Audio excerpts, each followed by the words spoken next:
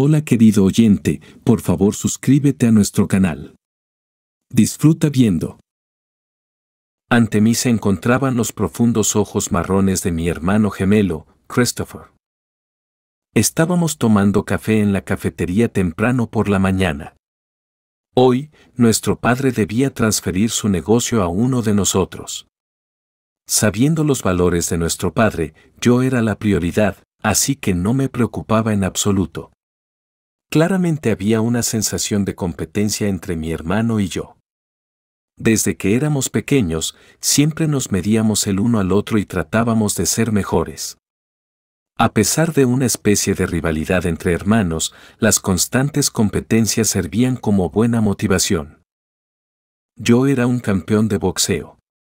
Desde los cinco años, quería hacerme famoso y que todo el mundo aplaudiera por mí. Pero mi sueño se alejó de mí hace 12 años cuando conocí a Marie. Ahora es mi amada esposa. A pesar de tener la felicidad de tres hijos, a los 33 años, extrañaba el boxeo. Christopher, por otro lado, era jugador de fútbol y, a diferencia de mí, siguió siendo fiel a su sueño. A medida que envejecía, tuvo que retirarse, pero se convirtió en un exitoso entrenador. Nunca tuvo esposa ni hijos. Exteriormente, Christopher y yo éramos como dos gotas de agua. Solo nuestros padres no podían confundirnos. Nuestra madre falleció hace dos años, tenía 59 años. Nuestro padre la extrañaba mucho y solo la producción tecnológica privada podía distraerlo de su pena. Viajaba al extranjero con frecuencia, trayendo nuevas innovaciones. Los electrodomésticos de nuestra empresa ocupaban el primer lugar en el país. Recientemente, nuestro padre estuvo en América y regresó con una nueva idea para crear básculas inteligentes. Sin embargo, uno de nosotros debía presentarlo en seis meses, ya que la salud de nuestro padre ya no podía soportar la carga. Él se resistía a pasarnos la empresa hasta el final. Parecía que el trabajo significaba más para él que la familia. Respiraba con nuevas invenciones. Crear algo era su forma de sentirse vivo. Temía que si ambos tomábamos el control de la empresa, llevaría a la rivalidad y la división.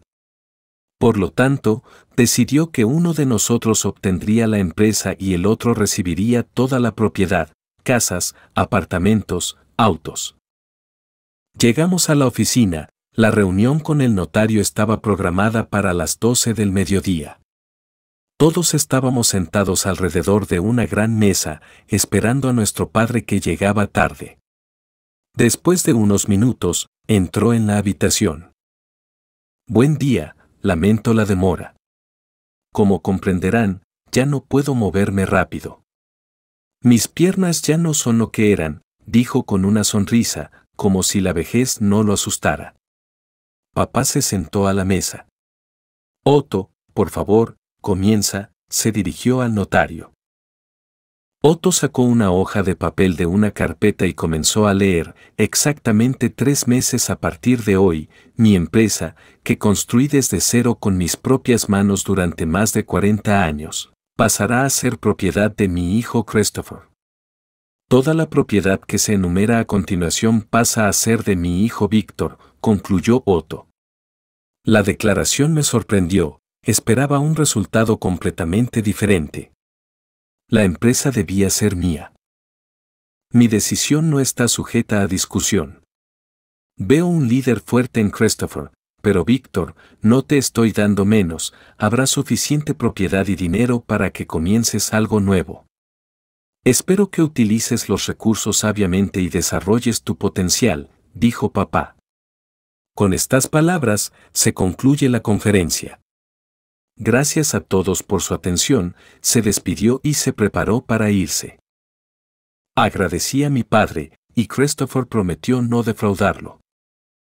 Después de un duro día, de vuelta en las paredes familiares, finalmente pude suspirar aliviado.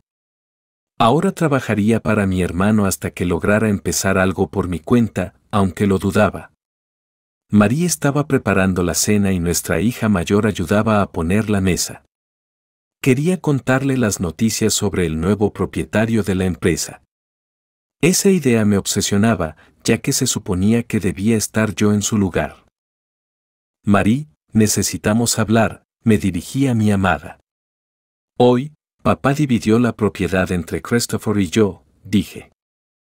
Permíteme adivinar, la empresa fue para ti, preguntó María alegremente, claramente sin comprender mi estado de ánimo. No, papá eligió a Christopher.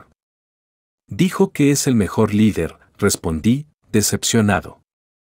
En este momento, necesito tu apoyo más que nunca. Las noticias de hoy me afectaron profundamente. Mi autoestima y confianza se derrumbaron, al igual que la perspectiva de convertirme en el nuevo propietario, compartí todo lo que me había estado preocupando. María sintió con comprensión y me abrazó en silencio. Mi esposa es mi rayo de sol. Está conmigo en la alegría y la tristeza. En cualquier situación en la que el mundo se oponga a mí, María estará a mi lado hasta el final. No conozco nada más fuerte que nuestro matrimonio. A pesar de comenzar nuestra vida familiar desde cero, las discusiones eran un fenómeno raro en nuestro hogar. Y como hombre, hice todo lo que estuvo a mi alcance para mantener a nuestra familia sin la ayuda de mi padre. Trabajé incansablemente para él, comenzando como un simple empleado de oficina y ascendiendo a posiciones más altas. Dejar mi carrera en el boxeo fue emocionalmente difícil, pero María era más importante para mí. Sobresalía en todo, poseyendo una apariencia cautivadora y una disposición amable. Mi esposa se parecía a un gato en ciertos aspectos, igual de astuta. Podía ser tierna y cariñosa cuando quería, pero si algo no iba a su manera, mostraría sus garras. Su rostro dulce y sus grandes ojos verdes combinaban perfectamente con su astucia interior. Un punto destacado de la apariencia de María era su larga y espesa melena oscura de la que estaba muy orgullosa. Marí dio a luz a nuestra hija mayor cuando tenía 19 años. A pesar de su corta edad, fue una buena madre y se las arregló para todo. Traté de ayudarla tanto como pude. Aparte de nuestra hija mayor, Lilith, tenemos dos hijas más jóvenes, Eva y Amina. La del medio está a punto de cumplir ocho años, mientras que la más pequeña tiene solo tres años. El parto y el cuidado de los niños no arruinaron a mi esposa, ella continuó haciendo ejercicio en el gimnasio y mantuvo un excelente cuerpo tonificado. Casi no había arrugas en el rostro de Marie, ella se cuidaba y invertía en su imagen personal. Durante un tiempo, visitó a un psicólogo porque enfrentó la depresión. La mañana estaba cálida y soleada. El verano estaba en pleno apogeo afuera. Parecía que el sol iluminaba los caminos difíciles de algunas personas, llevándolas hacia la luz de una vida más brillante. Logré llegar a un acuerdo con la nueva situación. Marie siempre había querido abrir un salón de tatuajes. Yo la ayudaría a cumplir su sueño porque una amada feliz significa un yo feliz. Pero por ahora, era hora de ir al trabajo. Christopher está reuniendo a todos los jefes de departamento. Trabajaba en el Departamento de Recursos Humanos, pero hoy mi hermano gemelo podría asignarme un nuevo puesto. Ya sea mejor o peor, es su decisión. Nuestra competencia de la infancia ahora le da la oportunidad de demostrar que es el líder y potencialmente humillarme. Durante la reunión, se discutieron los aspectos más importantes de la empresa y las innovaciones. Sorprendentemente, Christopher no despidió a nadie ni actuó como un dios, obligando a todos a inclinarse. Se comunicó con los empleados como iguales. Me transfirió al departamento encargado de la colaboración con otras empresas. Víctor, quiero que gestiones las relaciones entre nuestra empresa y las demás. Te conozco toda mi vida y me parece que la diplomacia es lo tuyo, compartió sus pensamientos mi hermano. El trabajo era decente, y no me quejaría. Pero había soñado tanto con presentar la nueva invención. Bueno, ¿qué se le va a hacer? Es la voluntad de nuestro Padre. Marí se inscribió en cursos de tatuadora. Encontré un buen espacio de estudio para ella y lo compré. Mi esposa y yo estábamos eligiendo diseños de paredes, techos y muebles. Planeábamos comenzar las renovaciones en una semana. Padre invitó a mi familia y a la de Christopher a cenar. Quería discutir cómo iban las cosas en la empresa y cómo estábamos administrando los recursos y la autoridad que nos confió. Acepté gustosamente la invitación, los niños extrañaban a su abuelo siempre ocupado, y esta sería una oportunidad para pasar tiempo juntos. María estaba peinando el cabello de nuestras hijas, cada una con un peinado único. Siempre querían lucir hermosas y parecerse a su madre, quien cuidaba mucho su apariencia. Mi esposa, por otro lado, rizó su cabello en suaves ondas y llevaba un vestido crema claro. Las telas pesadas no eran adecuadas para el clima, unos minutos bajo el sol y uno podría sentirse sofocado. Cuando todos estuvieron listos, nos subimos al coche y nos dirigimos a la casa de mi padre. Tenía una enorme mansión en el centro de la ciudad. Una casa moderna de dos pisos se alzaba con orgullo justo al lado de la plaza principal. En la propiedad había una piscina, una cancha de deportes, un parque infantil construido especialmente para las nietas e incluso un edificio separado para la sauna. Un mayordomo nos recibió en la entrada y nos abrió las puertas. Los niños corrieron de inmediato al interior en busca de su abuelo. Yo saqué un pastel y una botella de brandy del maletero, que compramos en el camino. Al entrar en la casa, escuché voces que provenían de la cocina, a donde mi esposa y yo nos dirigimos. Christopher estaba recostado en el sofá, y frente a él, en un sillón, estaba sentado nuestro padre. Lilith acariciaba al perro de nuestro padre, y Eva y Amina ya estaban sentadas en el regazo de su abuelo, escuchándolo atentamente. Buenas tardes, saludé a mi hermano y a mi padre, estrechando la mano de ambos. Tomen asiento en la mesa, invitó padre, mientras su sirviente preparaba la mesa.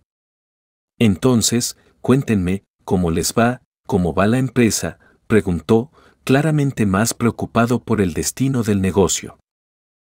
No está mal, todos están trabajando duro, preparándose para la presentación. Trasladé a Víctor al departamento encargado de las relaciones con otras empresas, compartió mi hermano gemelo. Todos escuchaban con atención, mi esposa lo miraba con un interés genuino, lo que no pasó desapercibido.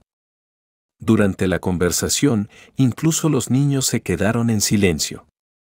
Víctor, ¿cómo te va a ti? Christopher me preguntó. María está tomando cursos de tatuadora, hemos comprado un espacio y planeamos abrir un salón. Todo va bien en el trabajo, recientemente firmamos un contrato en términos muy favorables, expliqué. Excelente, me alegra que cada uno de ustedes haya encontrado su lugar en la vida tan rápidamente, expresó sinceramente padre su alegría. La conversación luego se alejó del trabajo y discutimos asuntos más rutinarios, como partidos de deportes y noticias mundiales. La velada transcurrió agradablemente, todos bebieron un poco, excepto yo, que era el conductor designado. La reunión familiar estaba en pleno apogeo, con los niños jugando afuera. Mañana terminaré mis cursos y necesito modelos para practicar mis habilidades, se jactó mi esposa. Vector no tiene ningún interés en hacerse un tatuaje él mismo, dijo Marie con decepción.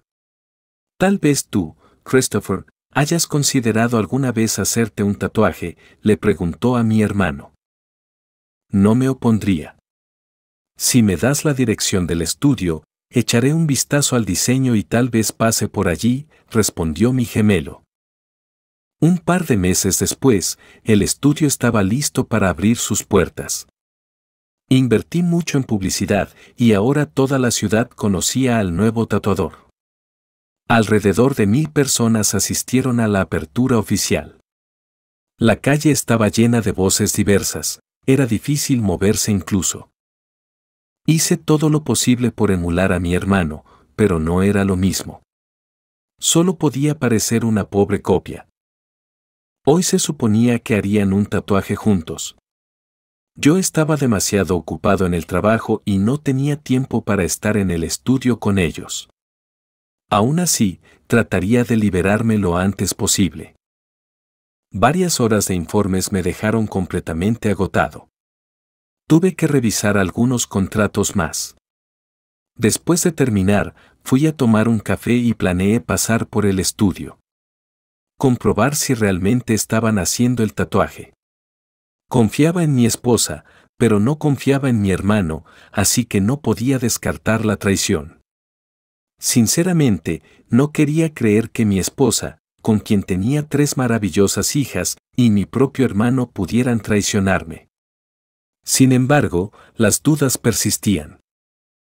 Salí de la oficina, subí al coche y me dirigí allí. Tuve que esperar un poco en el tráfico, a pesar de todo estaba ansioso por llegar lo más rápido posible.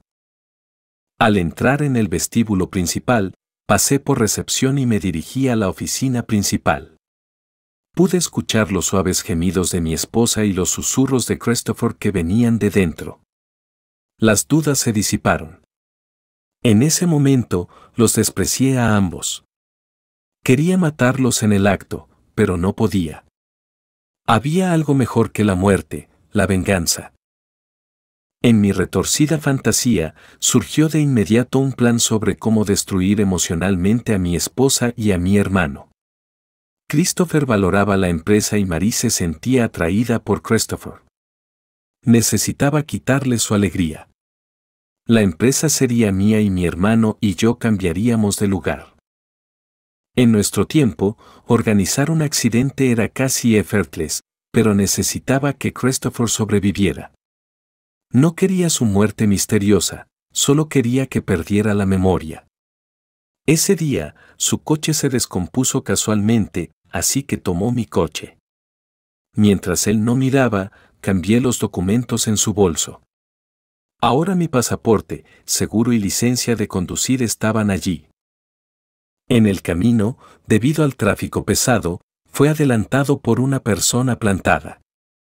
Esperábamos un fuerte golpe en la cabeza que pudiera inducir amnesia.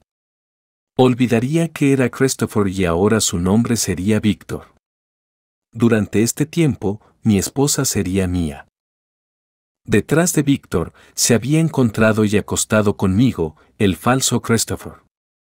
Casi cada vez se quejaba de su marido, lo que significaba yo. Hablaba sobre lo aburrido que era, lo cansada que estaba de la vida familiar, lo mucho que deseaba la libertad. Escuché todo esto con atención, ya que también estaba ideando la segunda parte de mi venganza padre se preocupaba por mi hermano y a menudo lo visitaba en el hospital. Debido a su edad, el anciano no notó la sustitución. Mientras tanto, todos estaban ocupados con el falso Víctor, y yo tomé el control de la empresa. Finalmente, mi sueño se haría realidad, presentaría las nuevas básculas inteligentes. El día estaba despejado, mis pensamientos se centraban únicamente en el negocio. Entré en la sala y comencé a prepararme para la presentación. Gradualmente, los invitados comenzaron a llegar, incluyendo a nuestros estimados socios. Después de un rato, llegaron el padre y Víctor. Incluso lo dieron de alta por un día en honor a esta importante celebración en nuestra empresa. Saludos a todos ustedes. Gracias por venir a apoyar y presenciar nuestra nueva invención en un día tan importante para la empresa, comencé mi discurso. Pero antes de comenzar, quiero agradecer a mi padre, que invirtió su juventud en la prosperidad de la empresa. Sin él, nuestro país no habría visto gadgets convenientes y asistentes para el hogar. También quiero decir, gracias, a mi hermano, quien siempre me ha ayudado guiándome por el camino correcto. Sin su amor genuino por mí y su apoyo en los momentos más difíciles de la vida, habría abandonado. Después de mi discurso hipócrita, aplausos llenaron la habitación. Si te ha gustado esta historia, por favor pon un like, ayudará a promocionar este video. La presentación fue un rotundo éxito, con algunos invitados expresando su deseo de comprar varias básculas inteligentes de la primera edición. Todos querían mantenerse al día con las nuevas tecnologías. Mis expectativas se cumplieron por completo, y me sentí feliz. No me atormentaba la culpa por construir el éxito de hoy sobre el engaño. No sentía dolor ni decepción hacia mi esposa, solo odio y lástima. Había estado conmigo durante 12 años, pero en cuanto apareció alguien mejor, fácilmente cambió a su familia. Ahora, pasemos a la segunda parte del plan. Con cada reunión secreta con Marie, lentamente sembré la idea en su mente de que debería dejar a Víctor. Después de todo, él era débil y no estaba a la altura de sus estándares. La simplicidad de mi esposa era abrumadora, me creía a mí, el falso Christopher. Cada palabra que decía era tomada en serio y cada sugerencia que hacía la hacía reflexionar. María era fácilmente manipulable, y lo disfrutaba. Durante el último mes, nunca había amado tanto mi inmenso poder sobre mi hermano, mi esposa y la empresa. Extrañaba a mis hijas, ahora que era Christopher, no tenía contacto con ellas.